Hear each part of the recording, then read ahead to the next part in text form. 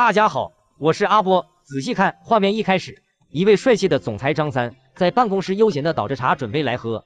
这时，一位帅气的秘书小李走了上来，他走到张三面前，微微弯腰，并说道：“张总，明天同学聚会，通知你了。”张三拿起刚刚倒好的茶，喝了一口后回复道：“李子，跟你说了多少次了，我们两个在一起的时候，不要给我造谣，没人会信的。”李子接着边点头边答道：“该有的尊重还是要有的。”张三又问道：“明天的同学聚会在哪里聚啊？”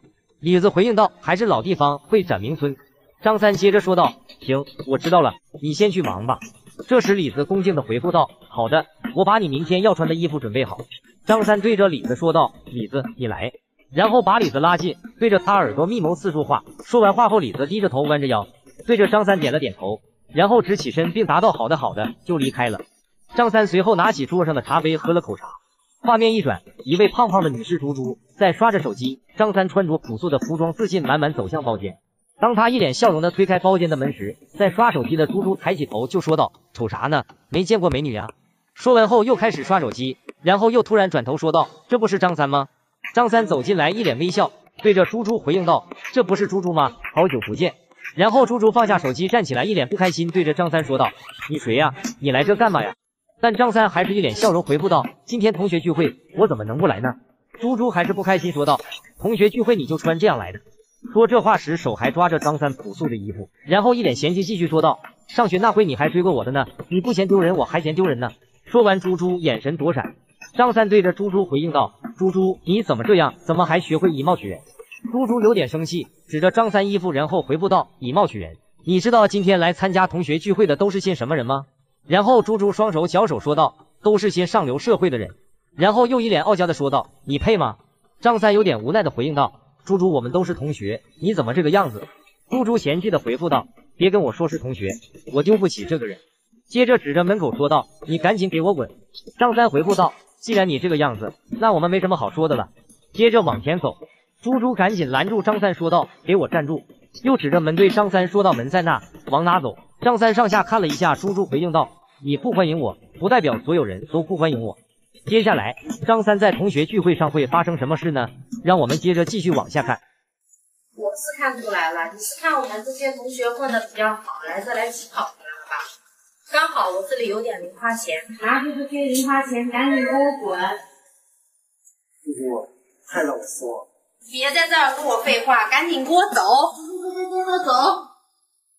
干嘛呢这是？听说这几年你混的比较好，都好都好，大家都同学嘛。哎，西西，你终于来了，就等你了，走吧。走。对了，告诉你件事，你前男友来了。什么？他怎么来了？我可不知道，看他穿那身，混的可不咋地。哎呦我天，真够给我丢人的。走，浩哥，待会儿看我好好的整整他。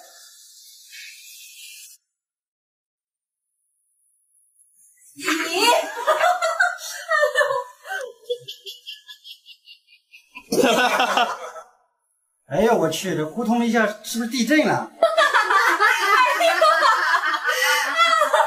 哈哎呀，西西，你干什么？没事吧，三哥？少多管闲事啊你！西西，这么多年了，我不爱开玩笑。我哪有那闲心思跟你开玩笑啊？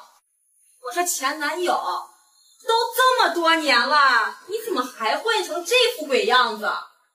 不是。我说你干啥来了？西西，你怎么也这样？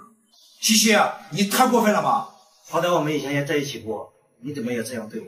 就是啊，西西，这不是你前男友吗？今天可以好好叙叙旧啊！你给我闭嘴啊！张三，我当初我真是瞎了眼了，我才跟你这种人在一起。不是你那什么表情啊？你穿这一身，连我家狗都不如。你还来参加同学聚会呀？就是啊，张三，你看看在座的各位，哪个不比你强啊？都确定比我强吗？好了好了，今天是同学聚会，都坐下来一起吃饭好了。哎，兄弟们，我现在有点事儿，我先走了，改天再聚。浩哥，等你回来啊！哎，去去去，瞅你穿那么脏，别坐我旁边，离我远点。大哥，坐我这吧。哎，我说这位呀，你看不出来吗？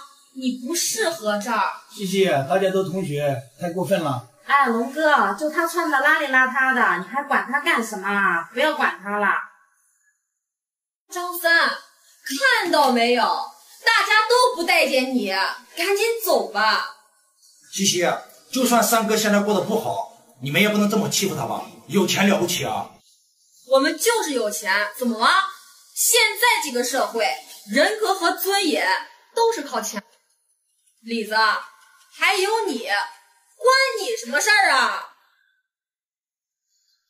哎，张三，我听说你以前混的不错呀，今天穿这个样子就来。就算你们今天这样冷言冷语的对我，你们要记住，人是有起伏的。你跟我俩在这儿作诗呢？啊？哎呀，大家都听听啊，这文采是咱们能比得了的吗？你知道现在是什么社会吗？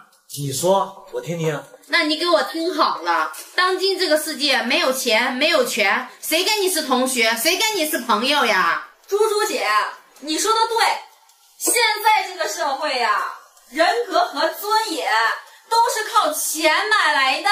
你放尊重点儿。张三，张三，你摊上事了。你知道 C C 的车多少钱吗？张三，你知道我这个车是花多少钱买的吗？多少钱？你说。三百多万。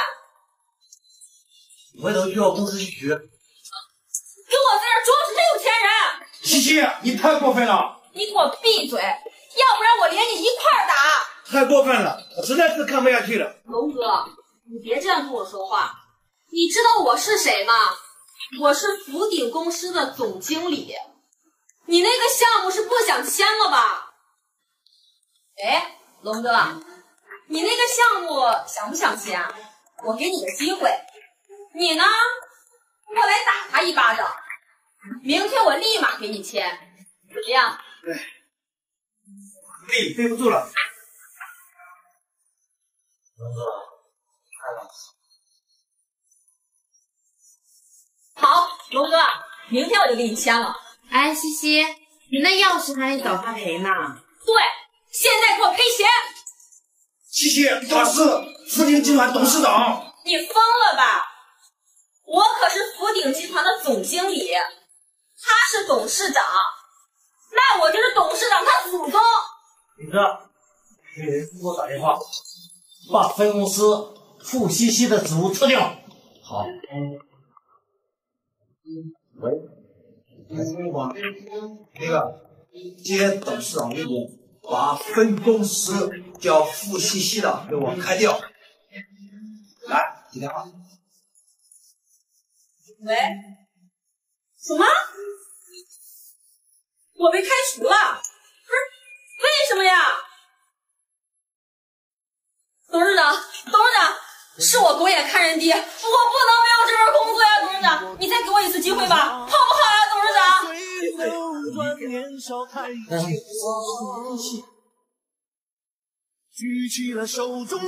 告诉你们，人在任何时候都不能忘本，都不能掉。这次同学会让我刻骨铭心，人富不富贵不是靠外表的漂亮，无论你多成功，都不能瞧不起任何人。正道的光。